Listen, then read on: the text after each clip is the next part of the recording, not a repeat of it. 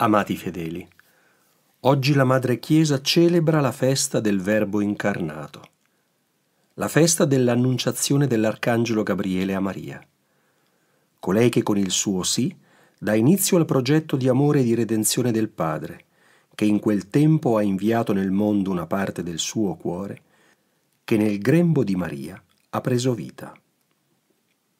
Il mistero dell'incarnazione è il mistero d'amore per eccellenza, fondamento della cristianità.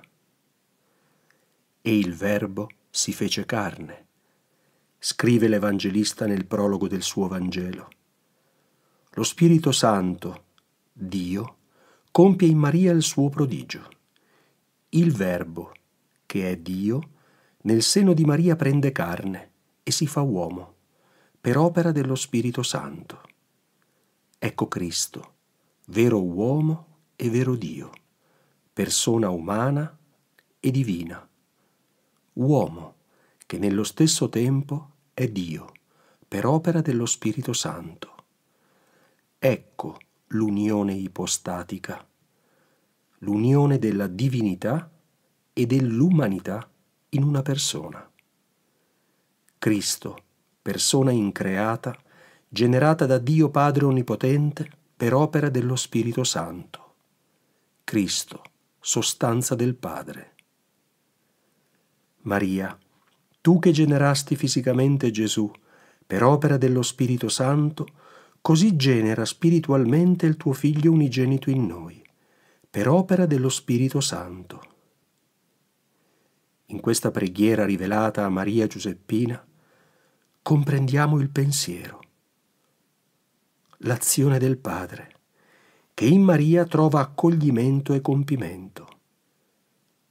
Maria accoglie nel suo cuore immacolato il Verbo divino, per dare compimento al progetto del Padre, generando per opera dello Spirito Santo il Verbo nel cuore dei suoi figli, affinché il Verbo possa manifestarsi ed essere accolto nel cuore di coloro che, accogliendolo, divengono figli come insegna l'Evangelista.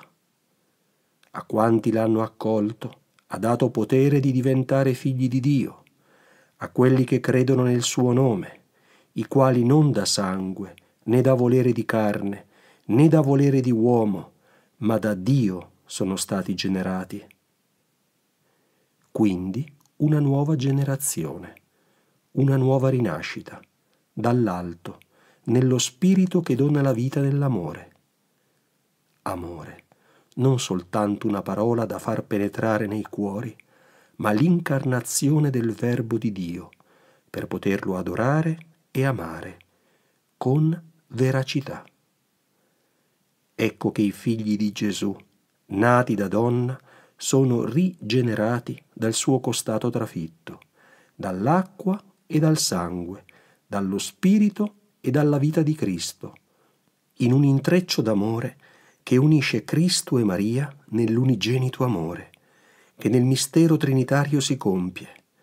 Ecco che il seno immacolato di Maria è chiamato da Dio a generare e a rigenerare, per opera dello Spirito Santo, per dare pieno compimento a quel piano di amore e redenzione che ha avuto origine in quel giorno santo e solenne che oggi celebriamo. Ringraziamo insieme Dio Padre Onnipotente e ringraziamo insieme Gesù, il Verbo incarnato, e ringraziamo insieme Maria, la piena di grazia, colei che con il suo sì ha reso possibile il grande mistero d'amore dell'incarnazione. E così sia.